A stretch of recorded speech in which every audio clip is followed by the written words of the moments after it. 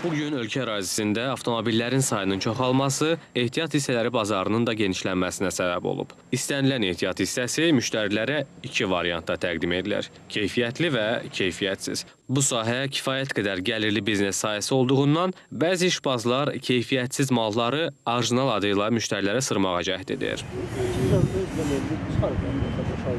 Xaçmaz sakini Aqil Həsənov bildirir ki, ehtiyat hissələri alarkən yüz ölçüb bir biçsə də yenə bəzi çətinliklərlə özləşir.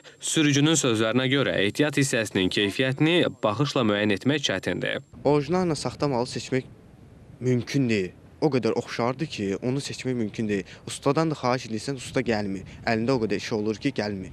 Ona görə də çaşıb qalıq. Ayda 3 dəfə remen dəyişirəm. Gedirəm mağazinə də mən sürücü olduğum üçün başım çıxmır. Məsləhətçisini göstərirəm, gətirib qoyuram.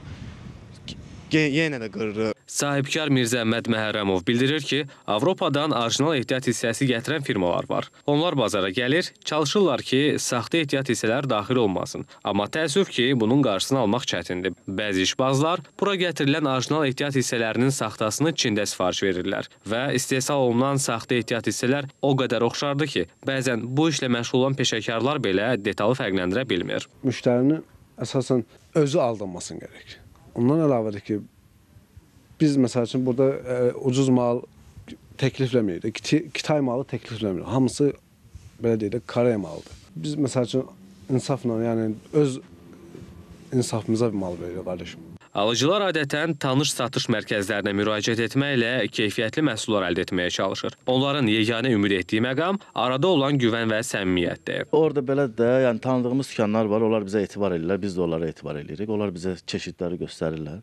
Ondan biz müəyyən edirik ki, ehtiyat hissəsi keyfiyyətlidir və ya keyfiyyətsizdir. Bəs çıxış yolu nədir? Aldanmamaq üçün nə etmək olar? Avtomobillərin ehtiyat hissəsinin orijinallığını özünüz də müəyyən edə bilərsiniz. Bunun üçün siz telefonunuza xüsusi proqram yükləməklə ehtiyat hissəsinin üzərindəki barkodu skaner edib hansı ölkənin istehsalçı olduğunu müəyyən edə bilərsiniz. Usta Rauf Abbasov son zamanlar Çin istehsalı olan malların satış bazarında çoxaldığını bildirir. Qiymət fərqinin kəskin olması isə alıcıları cəlb edir. Eyni ehtiyat hissələri arasında fərq o qədərdir ki, bəzən bir orijinalın qiymətinə 5 ədəd digərindən almaq olar. Bu detalları fərqləndirən ən əsas cəhət isə birinin avtomobilin öz zavodunun, digərinin isə müxtəlif firmaların istehsalı olmasıdır. Onların ilkin baxışda yoxlanma qaydasını isə usta belə izah edir. ehtiyat hissələrinin qutuları e, biraz rəng, rəngləri, nətər deyim, qabı, o kardonun qabı var, ki var. O hələ bir ki biraz e, bərk olur, biraz qalın olur.